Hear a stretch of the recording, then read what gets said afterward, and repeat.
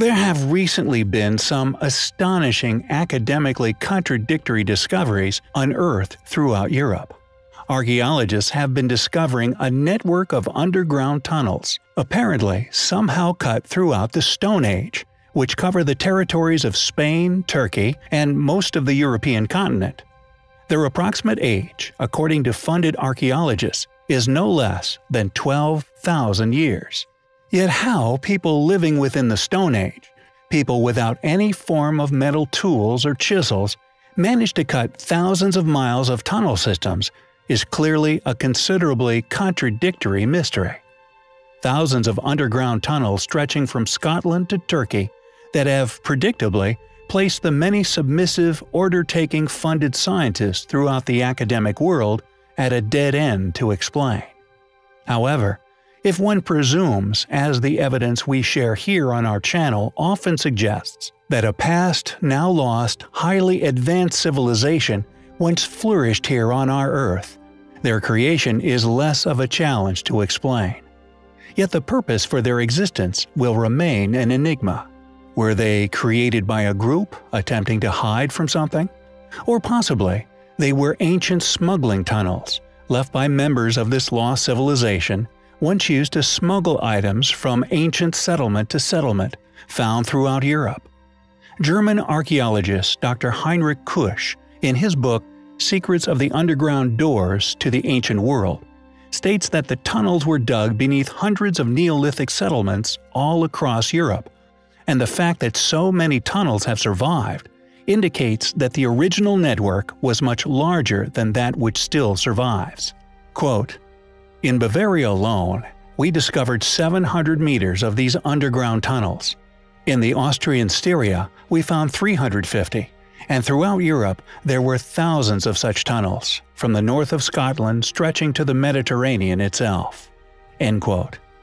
The fact that these tunnels have been identified as having been cut at least 12,000 years ago should indicate to all those still with the capacity of critical thought that they are undoubtedly far older than this, as to state that they were somehow cut by people with literally no tools to their disposal, to us seems laughable. The tunnels are all relatively narrow, being about 70 centimeters in width, just enough for an adult man to travel through. In some places, there are small rooms, storage chambers and seats, clearly indicating that these cave systems were used by a number of people at a time.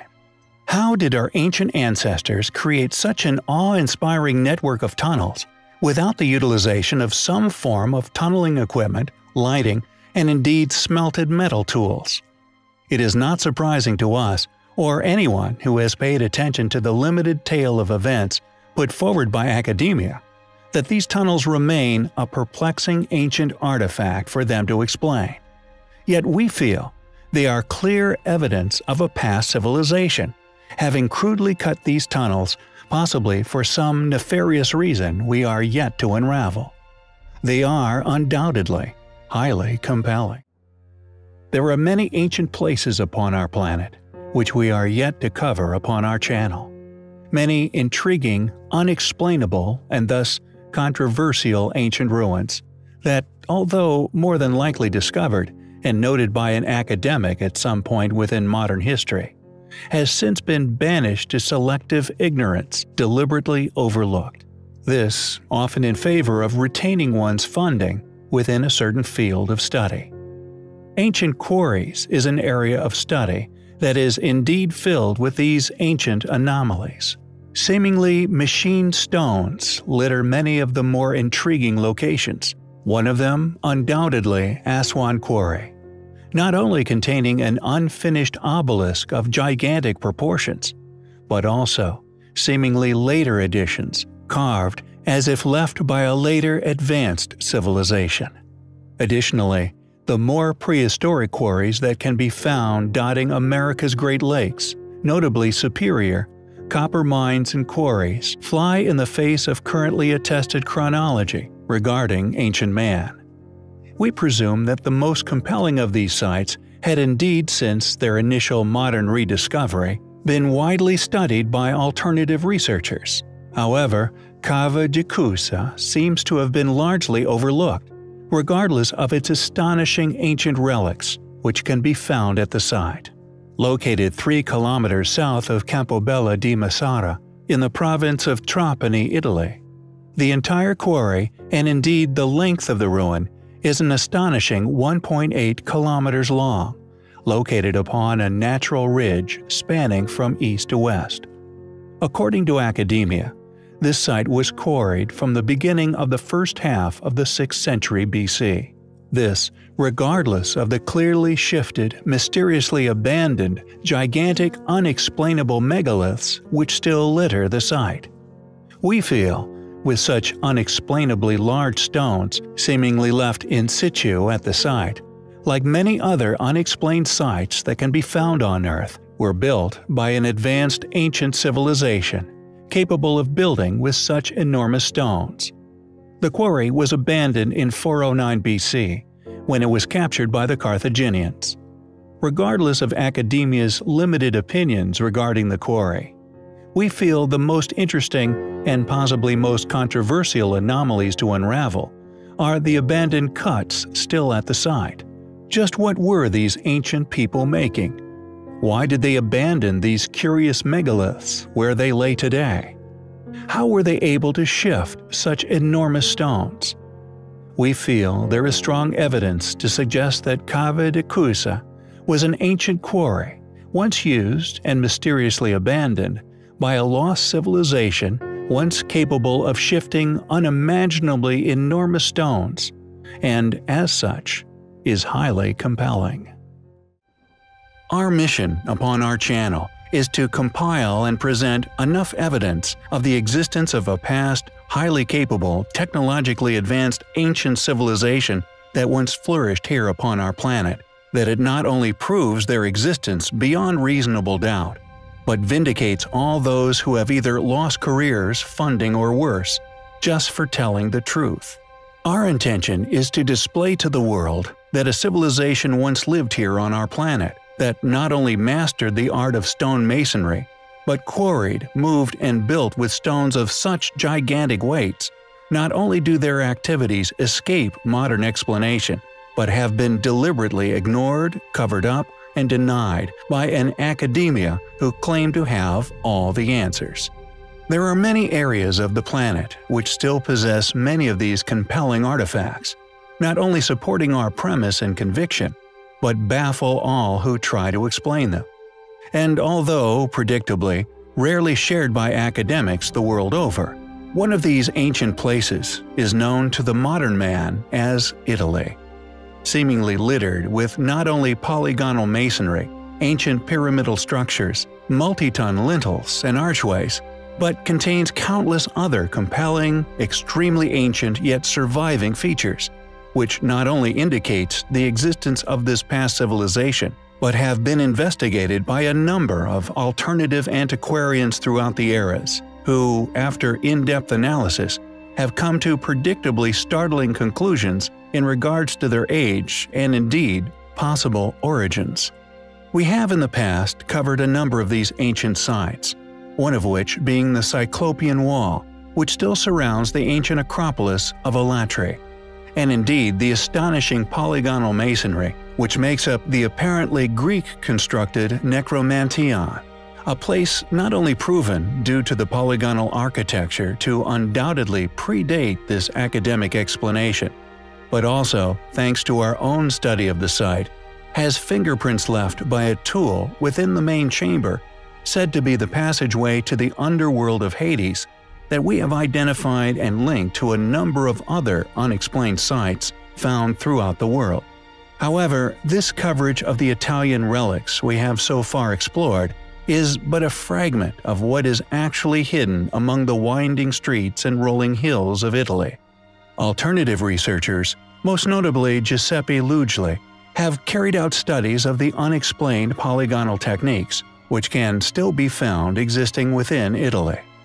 The ancient fortifications and polygonal walls, which were researched and initially noted by Giuseppe, include Alatri, Norma, Arpino, Asini, Saracina Gate, Cosa, Alba Fucens, Segni, Pigra, Blera, Lazio, Bomarzo, Latium, San Felice Circeo, Latina, Chiusi, Etruria, Tuscania, Vetralla, Viterbo, Monte Albano, Sovana, Toscana, Nardo di Pace, Tirna, Lago di Pitiluca Orvieto, Umbria, Tuscany, Maremma, Sorano, Syracuse, Sicily, Val di Saviore, Cerveteri, Savignano, and so on. As Richard Casero puts it, a modern researcher of these enigmatic ruins, quote, The countryside around Rome is littered with relics of a past more or less remote. One feels almost a continuity there, between the ancient and the modern world, with the ancient Roman ruins being almost a familiar presence, as if part of the natural landscape. Yet one also finds there remains of a much older and mysterious past. Massive cyclopean walls encircle towns and villages, their stones darkened by the passing of centuries and millennia. One can never get used to them, so strange they are in their interlocking geometries, and so different from the familiar contours of Roman and medieval walls. They loom as a relic from an entirely different past, of which we know almost nothing. And as mentioned, although we have only personally covered the Cyclopean walls surrounding Alatri, similar ancient fortifications can seemingly be found enclosing countless other ancient ruins all over Italy. The small towns of Sutri, Aemilia, Palestrina, Ferentino, Segni, Sezze, Veroli, and Arpino, all in the province of Frosinone, Norba, Cori, and Circe, Cortona, Cuma in the province of Latina, Aemilia in nearby Umbria, as far as Ansedonia, Orbetello, and Roselle in Tuscany and Alba Fucens in Abruzzo, are entirely surrounded by cyclopean walls, surviving to this day in various states of preservation, an indication of a fear these people had of some form of outsider. The stone walls, some of which constructed from truly gigantic blocks, each weighing many tons, are as finely fitted together as the many other mortarless ruins found elsewhere the world over, such as within ancient Peru. But it is their near impossible acute angles and interlocking corners that caused the greatest of amazement that just like the polygonal masonry found all over the world, was created as if each stone was individually carved to be a piece of a gigantic jigsaw puzzle. These features, along with their gigantic scale, are relics not only overlooked by the thousands of people who visit Italy each year, but, as we have previously discussed, are overwhelming evidence of an ancient civilization far more capable than any of the well studied ancestors that academia claim as the original builders. These remnants are undoubtedly evidence of a past civilization that were not only vastly more proficient in masonry than even the modern man, but were also obsessed with building enclosed fortifications, as if to avoid some form of outside invader or possible natural threat. Who built ancient Italy? Why did they build with such focus on fortification? How old are these relics? we feel that due to their inexplicable nature, they are undoubtedly relics left by a now lost civilization, yet continue to be ignored by an academia who deny this people's past existence. Regardless of these denials, we find ancient Italy highly compelling. We have often postulated that many of the ancient sites found all over the world, regardless of permitted academic study, are actually surviving remnants of a once highly advanced civilization now lost within the history of Earth. These exquisitely, as yet unexplained structures were, we feel, strategic vantage points, once built for defensive purposes, later exploited for this advantage by civilizations now academically claimed as the creators. As the generations passed within these ancient cradles, the memory of these inhabitations predictably faded. Thus, these sites, for intimidation purposes, slowly became attributed to the leaders of the tribes, which now resided within. Many of these modern impostors, predictably meeting their demise within less than a century as modern history was formed, each succumbing to invasion by a slightly more capable group. We feel, on top of the mounting evidence, suggesting that these structures are far too advanced for their modern attributed creators. These invasions are additional evidence of these sites being re-inhabited, rather than once created, understood, and maintained by the actual builders. Many of these ancient sites, we feel, were indeed the cradle of the many more modern, well-studied, academically claimed constructors. These sites becoming modern tourist attractions, many eroding away to a ruin. However, some, placed within suitable locations for modern suburban development, and of such enormous monumental size that, regardless of their unexplainable constructions, have survived, slowly becoming engulfed within the modern world, with academia hoping that they continue to be overlooked by a busy populace. The ancient Acropolis of Alatri within modern-day Italy being one such site. This Acropolis was indeed once the ancient cradle for a lucky few who stumbled upon and realized the potential of this enormous walled-in location built with forgotten and now unexplained polygonal masonry techniques. Who built the Cyclopean Wall, which creates the Acropolis of Alatri? How did they build it? Why does academia ignore such monumental feats of ancient, unexplained architectural engineering?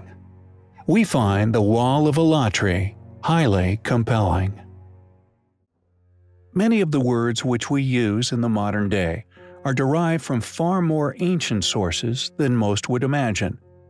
Many of the words that we use for objects and activities, which have been around since time immemorial, have their named origins placed near the birth of some of the earliest civilizations to have ever walked upon our planet.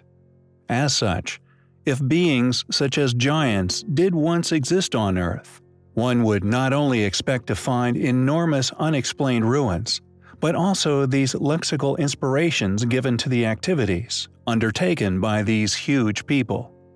Is it then just a mere coincidence that ancient, enormous stone walls are often named Cyclopean? Cyclops, having once been an ancient one-eyed giant within ancient Greek and Roman mythology. Is it also but a mere coincidence that the giant found within biblical stories, named Goliath, was also a one-eyed beast? Was the name given to these enormous ruins a clue to their original builders? A clue left upon spoken language, a remnant far more difficult to erase from history than any physical remains. Found everywhere on Earth, and even dotting some of the most remote tropical islands, these Cyclopean ruins still perplex us to this day. Many of the ancient Cyclopean ruins that can be found within developed areas have often been draped with modern architecture. Many suspect that this is often done in an attempt to conceal the true nature of these sites. Italy is a particularly good example of a country drenched in Cyclopean architecture, yet chooses to overlook such wonders in favor of modern development.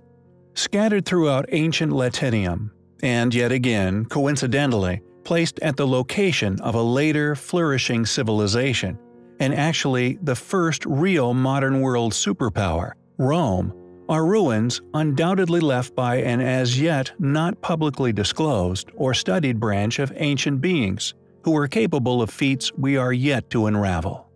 Many classical writers and historians, including Homer, Hesiod, Plutarch, Thucydides, and Diodorus Siculus, among others, posited the idea that the Cyclopean ruins of Italy and others within Europe were erected by this now extinct Cyclopean race.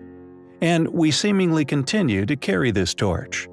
For to heavily research not only these particular areas of ancient architecture, but the many individuals who have made remarkable discoveries over the years, along with reels of newspaper archives with an interest in these particular finds, and also the suspected individuals tasked with the possible concealment of such.